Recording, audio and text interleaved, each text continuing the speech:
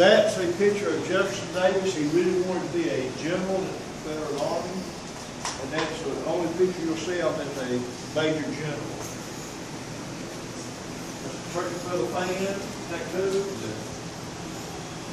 Well, that's what it's, This is the procession of Jefferson